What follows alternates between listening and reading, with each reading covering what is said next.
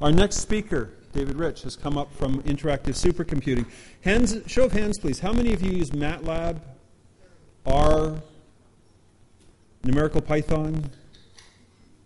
One hand, two hand. Okay. So, what he can do for you is make it run really fast on large clusters. If that doesn't grab your interest, I don't know what will. So, with no further ado, David, please. Now, I, I'm quite conscious of the fact that um, I'm the only vendor doing a talk, and I, I, noticed that in the list of speakers. So I, I have thrown out, I mean, there, there, might be a vendor or two slide in here, and I apologize for that, but I'm, I'm going to attempt to do a presentation as if I got a PhD in something, which I did not, um, and have been doing research on it, which I obviously haven't. Um, so I'm going to try to do more slides faster. I'm going to uh, torture an analogy for you. Um, we ha I have some easy slides about what we're about, and um, I guess if I can uh, put something across in this talk, it's not about our particular product, but about the category of product that we are in, because there are there are multiple of them, and I think they're all worth paying some attention to. Um, we've done some surveys recently, and I think some of the results are interesting, so we can talk about that a little bit about the product and a little bit about some of the benchmarks. Let me jump into it. So here I'm going to torture an analogy. So here is a very simple hand drill. This is software carpentry. This is a tool. Um, I'm uh, from, uh, well, my grandfather was in the tools business. So this is a, a, simple hand drill. It's easy to use. It's very portable. You can pick it up quickly, and it's hard to hurt yourself. Uh, it's not very fast. Um, uh, this is a drill. Uh, this one is actually from my grandfather's hardware store. I still use it. Um, it's, it's faster, obviously. It's also not hard to lear learn. You, you, you can hurt yourself. It, it, does have a power cord, though somebody, I think it must have been my dad, ripped off the ground pin, so it's, it's a little bit dangerous. It is metal. You can get a shock when you pick it up.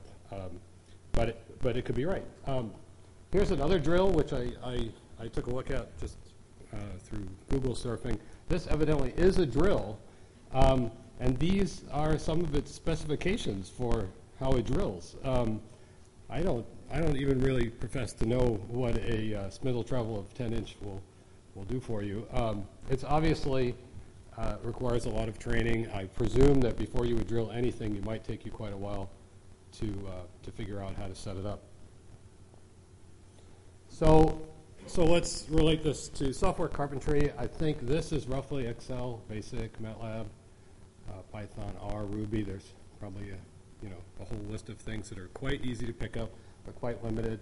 Um, Fortran, C++, uh, with some libraries are probably a fast thing you can do on, on, your, on your workstation with a little bit more effort. Uh, if you're going to get into this, you're going to teach yourself MPI. You're going to know what OpenMP is. You're going to play with thread building blocks, perhaps. Maybe you're going to play with CUDA. You are you are already in the in the, the realm here of having gotten trained on the specific uh, specificity of the tool. Uh, there's also another drill. This is where we're torturing the analogy. Um, here's a drill that's that's kind of a, a, combination of some of the some of the other things. It's it's portable. Um, it's pretty easy to use. It's, it costs a little more than a, a, simple hand or electric drill. You do have to make sure that there's charge in it. Um, it, it. It's a compromise of some form. You're not getting the, the, the most power that you would get out of out of another tool. And I, I think this drill is very similar, at least in a tortured analogy, to the um, class of products that, that, that, we are in. Our product is StarP. Uh, MATLAB has PCT and DCS. There's a, a, product called Revolution R, which is like a parallel R. Um, there are parallel Python efforts.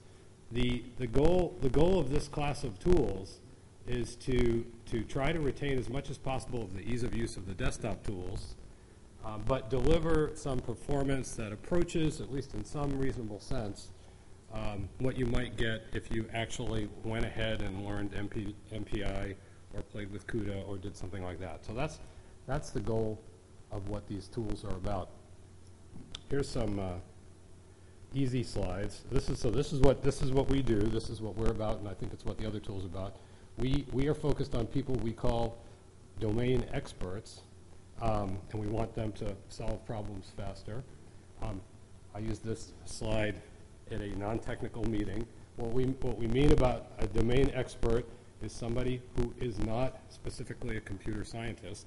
They are very much about solving some other problem. I, I, I always have mixed feelings when I meet somebody who's, who's in one of these domains, and they start talking to me about how many petabytes the thing was and what the file system they're using and how they program the such and such, because it, it, it's, it's, it's very nice from one perspective, but from another perspective, it feels like, oh my God, here's a guy that could cure such and such disease or solve such and such problem, and he's messing with, you know, MPI setup files and this kind of thing. It doesn't, it doesn't really feel right. So anyway, that's what we mean by domain experts. And the, the, the insight that started our product and um, I think some of the others is that depending on whose numbers you, you pay attention to, there might be about 4 million domain experts that are stuck in the, in the box, which is a, a desktop PC or laptop or, or single system. Um, and, and I think this crowd knows that there's more data available now, there's more advanced analysis available now, there's, there's multiple domains that can be brought to bear. A couple of speakers talked about how you have multiple kinds of experts involved in solving one problem. So, so this is not that big a box for that kind of analysis. And, and some of these other platforms really, in the, in the scheme of uh, laboratory expenses or, or, or people expenses, these are not that expensive. Obviously, if you bought this, if you bought the whole thing, it would be very expensive. But um, you know, people can get time on these machines, portions of these machines, relatively easily. And certainly, some uh, form of small server cluster is not uh, an expensive equipment if if people knew how to use it. There was a, it, it, a, lo a long time ago. There were workstation vendors, and and and uh, uh, workstations cost you know five to ten times as much as a um, as a as a desktop machine, and some for some kinds of workers, it was worth it to spend fifty to hundred thousand dollars on their piece of hardware so they could do their work. That was that was kind of a normal thing. We've we've drifted away from that. Now everybody gets this, but people still could economically justify something like that if they could figure out how to use it. So what we do is, um, and what a lot of the other products do, is we, we let people sit in this environment, and we then let them export the work off into uh, some some other resource of, of, uh, of computing, whether that's a corporate resource or a department. Um, lately, uh, lately, there's been a lot of hype, certainly, and gradually more reality around actually um, sending your, your work uh, off-site into some, you know, Amazon style or other cloud computing style uh, resource. And, and certainly that to us, we didn't, I mean, in all candidness, the product was not designed with that in mind, but once you, once you split the, the, the user interface from the compute resource, it's, it's not that much harder to send it a little bit further away. Um, one of the things that is often the case is that the thing that becomes the bottleneck on, on the desktop side is not the number of CPUs you can apply, but it's the amount of memory or how fast your I.O. structures work or this kind of thing. And um, that becomes a, a, key, a key factor in moving to a multi, multiple system scenario. One of the, the, other things that we, we think, though, um, our customers are not necessarily hitting, hitting us over the head with this yet, is that the data sets themselves are, are large, and when you start to get into collaborations, you know, there's a question of where does the data reside, and it's hard to make the data reside in multiple places, so you want to bring the, the compute to the data. And yet, again, you want to do that in a way that somebody doesn't have to learn uh, all kinds of complicated protocols or staging or scheduling or how does their workload manager work as opposed to our work scheduler. Um, and so, again, products like this try, try to hide that. We do, we do survey, um, you know, you, uh, just the same way as in science, in modern day marketing, all we do is um, is gather links and send out things and catch email addresses, and eventually you use those things for, for surveys. So here's a survey we did recently. Um, would you like to use lower level um, uh, source libraries with a higher level language? So one of the re reasons why these, these higher level tools are easy to use is because there is an awful lot of pre-existing functionality available that you can just adopt. And so overwhelmingly, people want, want to do that. Um, the only reason I included this one is, I think this is evidence that the, the desktop users want to stay desktop users. They don't want to go program some statistics function. They just want to use a statistics function.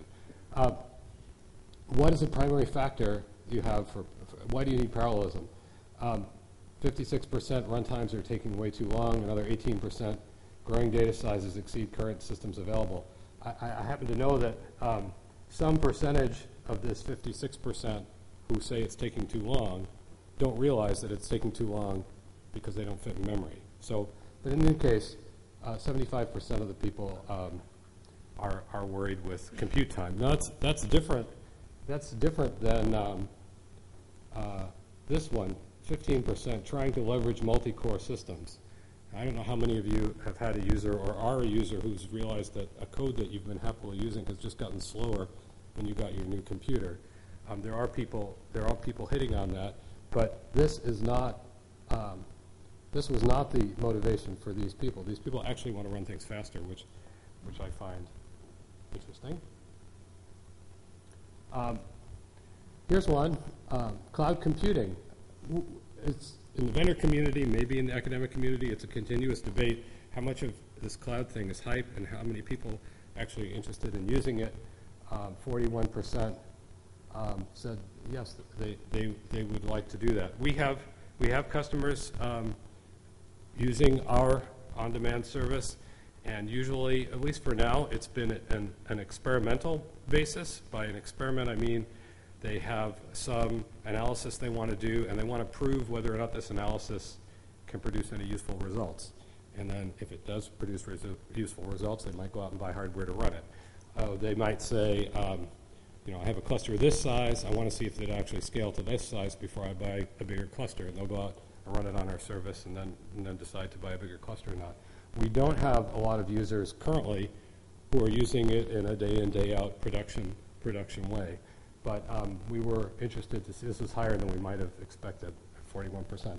This, this one, um, almost three quarters of the people said they were interested in using GPUs. So a few weeks after this survey, all, all the re- results for this survey are, are at this link, but um, we did a, a, a, a GPU survey, we got about 50 answers back. Um, that previous survey had 350 roughly answers back. I think um, since it was sent to a similar group, that these people, you know, self-selected themselves. If they weren't interested in GPUs, they didn't, they didn't answer. Um, I'm not going to go through all, all the, all the, uh, all the comments here, but a couple of things um, worth pointing out. I mean, I don't know if you can read them or not, but um, down here, if, if you if you take a look at this, there's 40% want to use the GPUs directly from the M language, and which which would be like MATLAB, and another uh, 22% roughly um, want to just use libraries that are GPU GPU aware. So, so you know, roughly 60% of the people want to use GPUs because they want to go faster, but they don't want to deal with it at all. They want it to just happen magically, and I think that that is that is the challenge that we're all uh, in the vendor community anyway, up against at the moment. There's a lot of there's a lot a lot of interest in GPUs, but um, no, people don't really want to to deal with it. And and you know the user community again are not the uh, typically the style of programmers who would be sitting there saying, well, if the job is not bigger than uh, such and such, it's not worth the time to move it out and bring it back, and you know uh, that kind of thing. So so it, there's a certain challenge there. Um, there's a there's a question, let me find it. Um, uh, You know, do you have any expertise in programming GPUs? Uh, No, 52%. Uh, 25% no, but uh, a colleague does, or they think a colleague does. So again, we, we don't think there are, um, there's a- obviously a body of people that, that know how to program GPUs.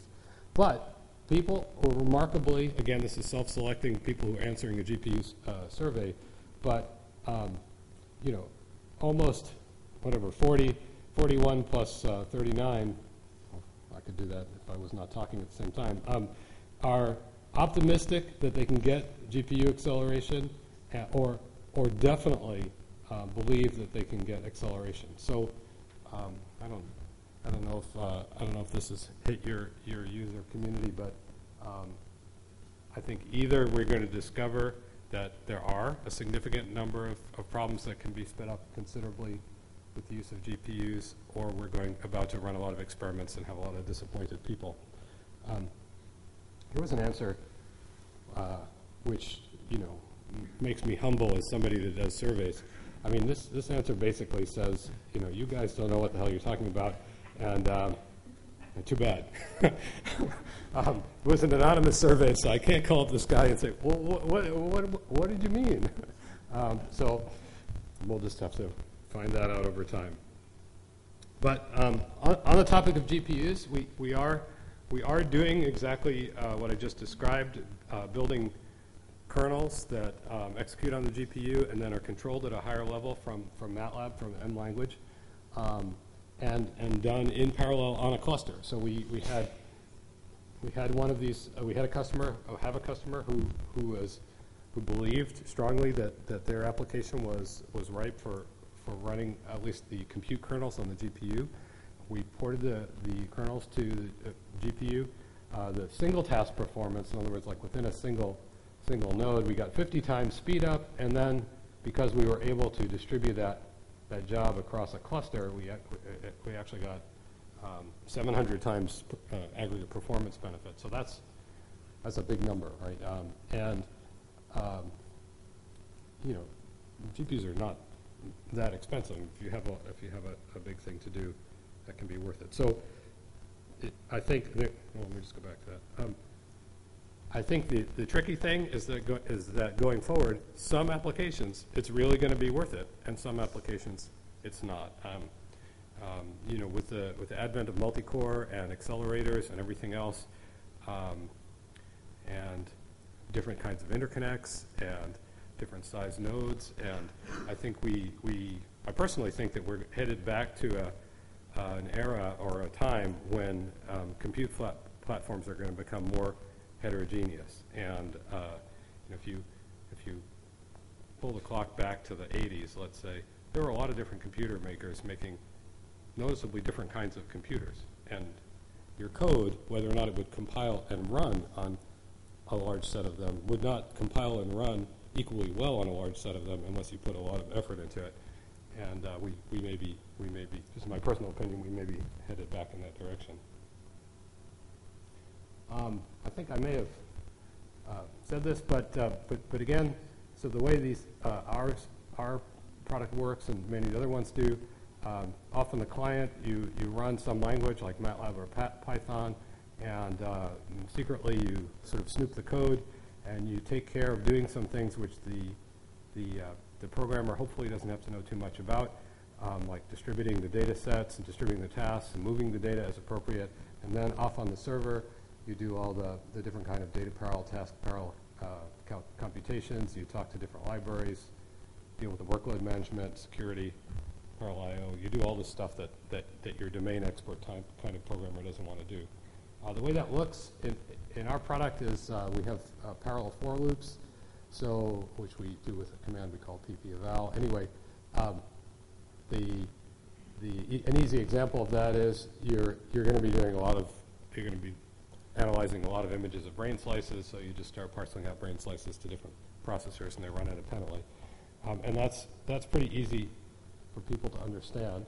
Um, so if they have that kind of situation, that's what they do.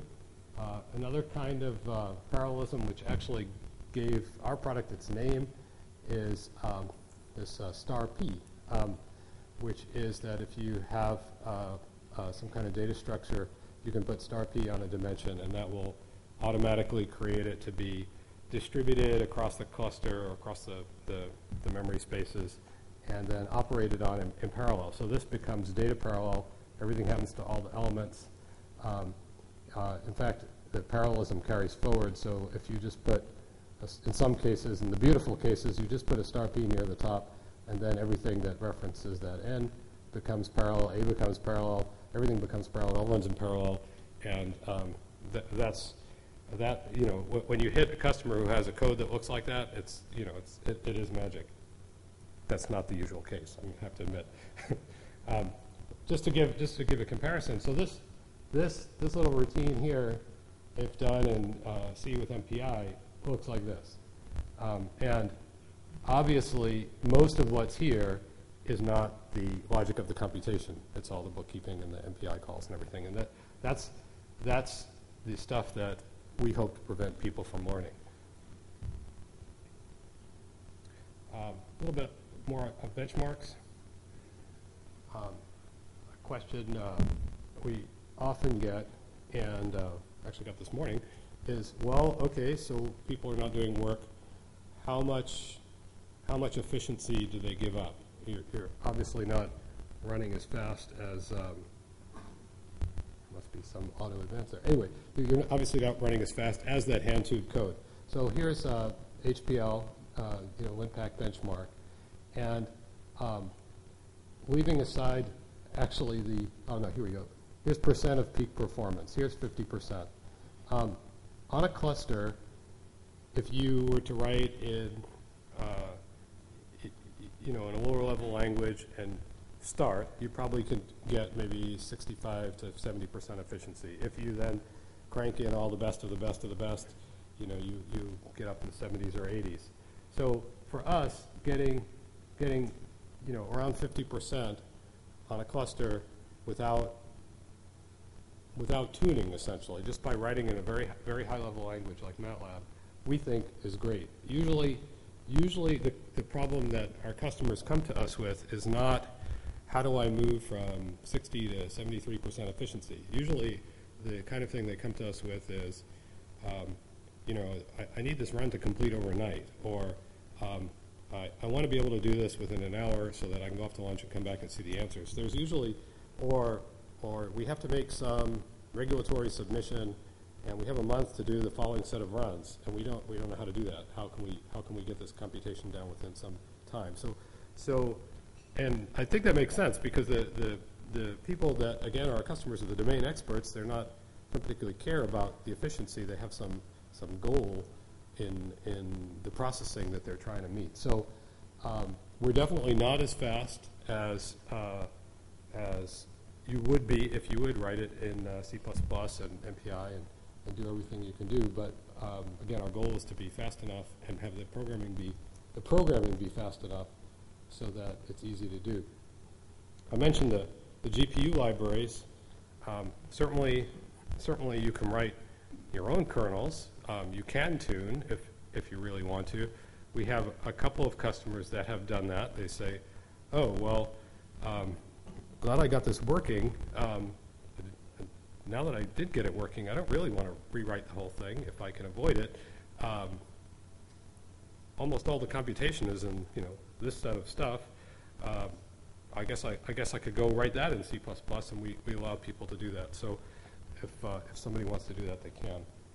Um, here's another another benchmark. Um, this is uh, this is running FFT2, uh, and um, I don't know that I'm proud of this benchmark because I, I think what we're doing here is easy, which is to say we're running lots and lots of, of uh, relatively independent things.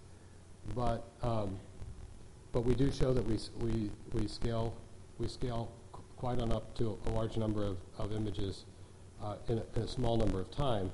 And even though, so you know, you get jaded if you've been in, in a certain industry too long, um, but somebody who's never written anything in, in parallel whatsoever, um, uh, it's, it's quite amazing that they can do um, that many images in, in, less, in less than a minute, and they could do it without changing their code very much or understanding how torque works or, or, or what slurm is or, uh, or that kind of thing. So, so this, this, this becomes significant for, for people who are doing that kind of processing.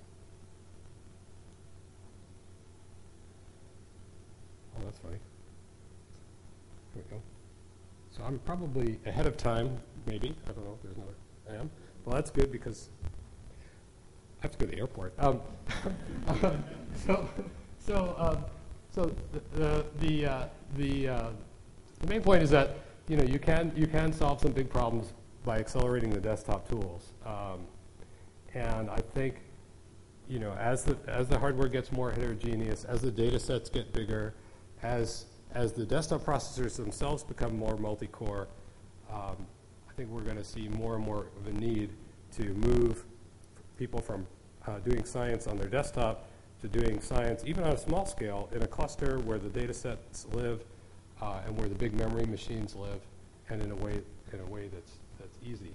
And if, um, if, if it turns out that um, these cloud environments, whether they be public things like Amazon or some government-funded research machines or, or what have you, continues to become more prevalent, then again, we're going to need ways to have people be able to do this easy kind of exploration computing um, in a, on a remote system. So, there you go.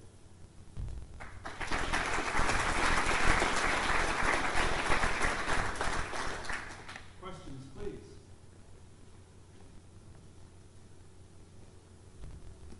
Uh, John, could you bring the microphone up, please?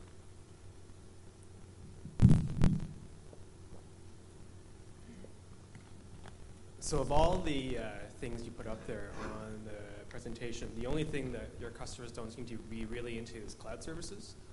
Compared to everything else, they seem to be 80%, 70% interested. Cloud, they're only 40% interested in. Do you have any idea why uh, they're not quite into the cloud yet? Well, there's, there's uh, certainly, we have, we have, um, we have customers in the intelligence community, so, uh, now whether or not they could even answer a survey, I, I don't know if, if, if that's there.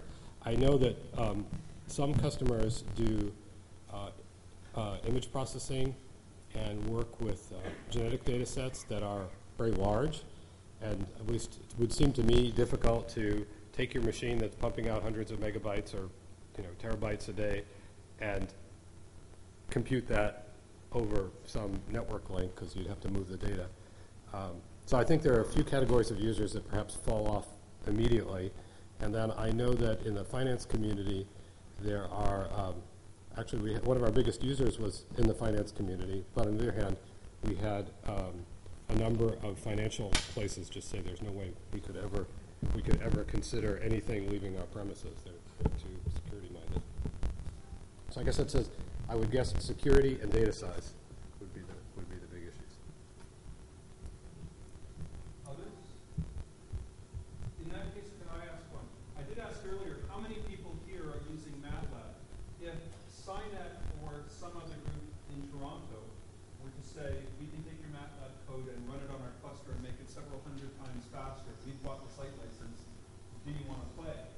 How many people actually have MATLAB or numerical Python or R code that they could usefully run a couple hundred times faster?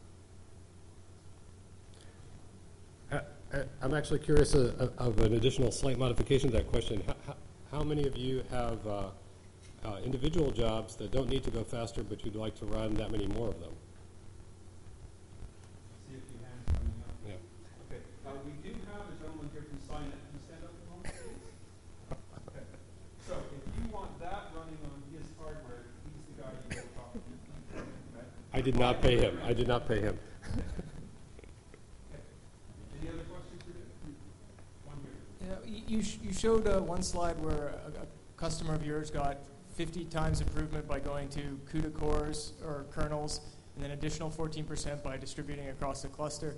How much of that work was is just the farming it out, and how much did you have to customize their code, and or in terms of the cost? So th- they definitely had to rewrite their compute kernel using CUDA. Using CUDA. Well, we did it together. We did it together. Um, but once that was done, and then there was it was the standard kind of use of star P that, that does the distribution and the task scheduling. Yeah, but, but in terms of a project, using that as an example, what would the breakdown in terms of cost be? Would it be 50% for your expertise in writing CUDA kernels and 50% for running it, or 1090? Well, What's the kind of it- breakdown? It was, I believe, about sixty percent am writing the CUDA kernels. And then, you know, some, the percentage of us doing that versus them doing that is kind of just based on the situation, but, but it was, that was most of the work. Thank you. There's one- back.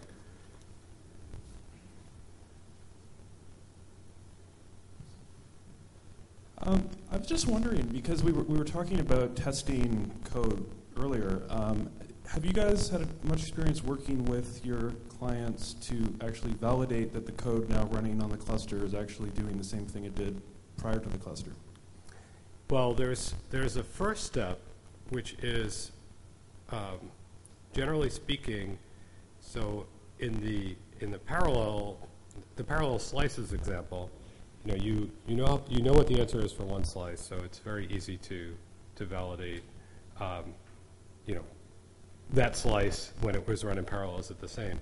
There are some other kinds of work that people do, like uh, large-scale knowledge discovery when you're running something like k-means on some huge data set, and you, you, you play with a different number of clusters, and you get some indication of, of something. Um, and uh, quite frankly, I, I, I don't think we've, I don't think there's been an organized attempt to, to figure out, you know, if you, if you had that huge data set, I mean, this is the only way it's been processed. So, um, you know, so I, well, now that I think about it, I hope our customers are applying some, some logic to think, does this answer make sense? But I guess we haven't provided them some other means to, to take some huge run like that and, and somehow verify it. So there's, there's some work for the future.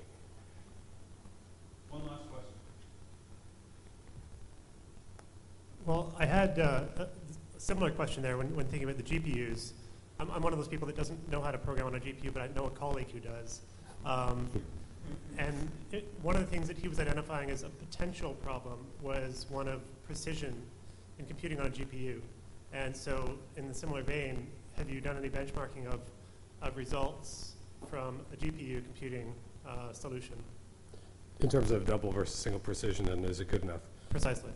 We, we haven't. Um, our, our thought is that, at least our assumption is that, you know, the, the double precision GPUs are on the way, and we're assuming that by the time there's any bulk of people doing this, um, there will be, there will be double precision GPUs. There's a, there's another issue with GPUs, which is um, um, the issue of data integrity, and um, not to slur any GPU, but GPUs are not built to the same um, data integrity standards as CPUs because usually if one pixel is bad, who cares? Um, and I, again, we, we talk about that kind of issue with our customer, but we're not, we're not, we're not trying to solve that problem. I know that some GPU vendors are, are planning um, chips that take data integrity more seriously for computation, so hopefully that'll, that'll get better in time also. Thank you very much. Thanks.